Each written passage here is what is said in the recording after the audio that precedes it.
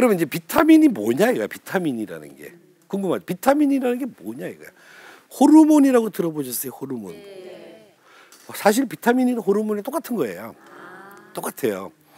어, 아미노산이라고 들어보셨어요? 단백질의 가장 쪼개고 쪼개고 하면 남는 거 그게 아미노산. 요 아미노산이나 호르몬이나 비타민은 모두 질소라는 걸 가지고 있어요. N이라고 하는 질소를 가지고 있는데 질소를 함유하고 있는 어떤 단위 구성 물질을 다 우리가 일, 표현해서 아민이라고 그래. 아민. 아민. 아민이라고 하는데 그 중에서 특별한 조치 없이도 몸에서 만들어져서 만들어져서 그냥 활동을 해. 예를 들어서 여기 계신 분들 몸에서 가만히 있어도 여성 호르몬이 나오잖아요. 네. 그죠? 그게 몸에서 만들어지는 아민이에요. 요 분은 남성 호르몬이 나오고. 그리고 췌장에서 인슐린 나올 거고. 성장기 때는 막 성장 호르몬이 빵빵 나올 거고. 그죠? 그걸 몸에서 만들어내는 거예요. 그 만들어내는 아민을 호르몬이라고 하자 이렇게 한 거야. 근데 만들기도 해. 어떤 거는 못 만들기도 해. 만드는데 이따만큼 만들어. 그러니까 몸에서 기능할 만큼 못 만들어. 그런 거를 그런 아민을 비타민이라고 하자.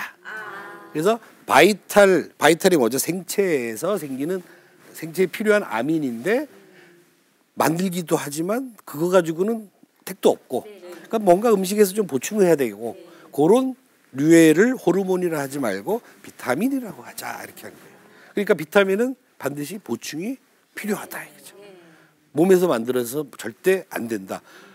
재밌는 게 우리 몸에서 대표적으로 안 만들어지는 게 비타민 C란 말이에요. 비타민 C는 절대 안 만들어져요. 근데 생쥐는 만들어져요. 생쥐는 비타민 C가 만들어지는데 그 생쥐한테는 호르몬이 되겠죠. 그죠? 생쥐는 호르몬이에요. 비타민 C가. 우리는 비타민 C지만. 그렇게 해서 만들어지어서 다 충분히 쓰면 호르몬. 안 그러면 비타민 C. 그리고 이제 나머지가 단백질을 구성하는 아미노산. 예, 그거는 이제 아미노산만이 가진 특별한 구조가 또 있어요. 그래서 얘네들은 다미노산을 분류한 거예요. 이렇게 분류해 보면 아 비타민이라는 게 정리가 되죠.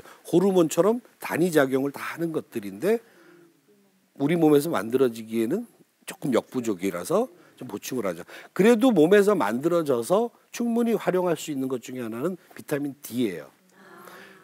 햇빛만 잘 쬐면 충분히 만들어냅니다. 근데 나이가 들면 들수록 그 원료가 부족해져서 점점 점점 햇빛을 많이 쬐서 못 만들어요. 그런데 어 비타민 D를 햇빛을 안 만들면 결국 또 못 만들어내요. 그러니까 만들고 싶다. 그러니까 인위적으로 못 만들게 만드는 거죠. 이렇게 햇빛 건물 안에 있으면 못 만들어요. 그러니까 얘도 비타민으로 분류할 수밖에 없는 거예요.